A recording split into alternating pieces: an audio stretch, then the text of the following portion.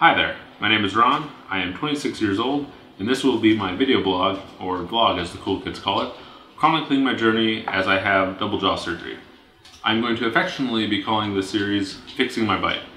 Ideally I would have started recording this series two years ago when I first had my braces put on, but oh well. So why am I having this surgery? Well, a few reasons. When I first consulted with my orthodontist two years ago, like before I even had the braces put on, he gave me basically two options. Uh, braces plus jaw surgery or braces without jaw surgery. Kind of straightforward. Uh, but he told me that if I did not have the jaw surgery, it would be hard to get a, a good bite, a good final bite uh, out of the process. And that is because I have a slight underbite, meaning my bottom jaw sticks out about seven millimeters further than my top jaw. So it is pretty much impossible for him to move the teeth in such a way to get a scissor bite where your top teeth go in front of your bottom teeth to cut the food that you're eating. I figured at the very onset of this that I was putting all this time and money into having the braces put on in the first place uh, that I might as well get as good of a solution as I could, even if it meant having surgery and um, being laid up a little bit. Because at the end of the day, I paid for the braces out of my own pocket. So to pay that money and end up with a less than ideal final bite was didn't sit well with me. So I figured if, if it was possible to have the surgery and I could handle having the surgery, I might as well have the surgery. So what do I hope to get out of the surgery? Well, nice smile. To be completely honest, I've always been a little self-conscious in my smile, and I'm kind of a goofy guy, and being self-conscious of your smile at the same time, it's kind of hard. Additionally though, it has been determined to be medically necessary by my jaw surgeon and orthodontist because it does affect my eating.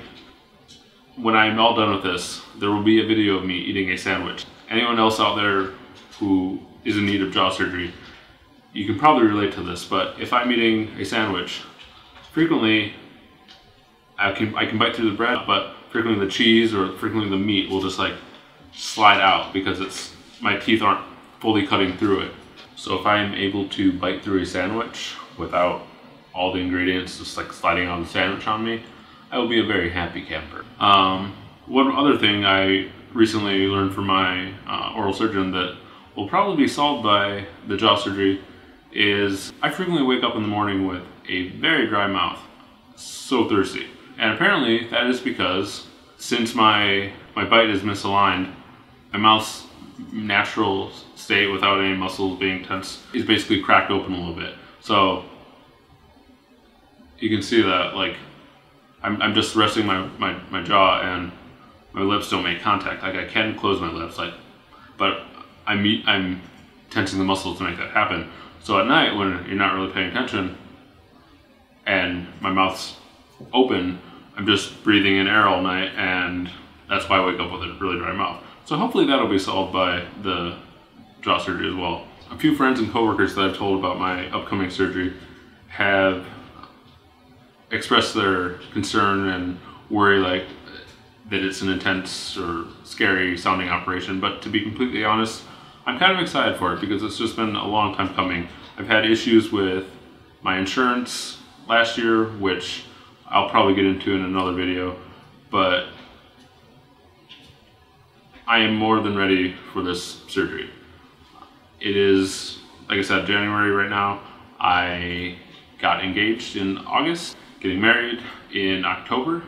So having my surgery in February, uh, I should have plenty of time to heal, let my swelling go down, and have my braces off by our big day. So yeah, the whole reason for me recording this series is partly for me so I can look back on it and see what my pre-surgery uh, bite looked like, my pre-surgery smile and whatnot.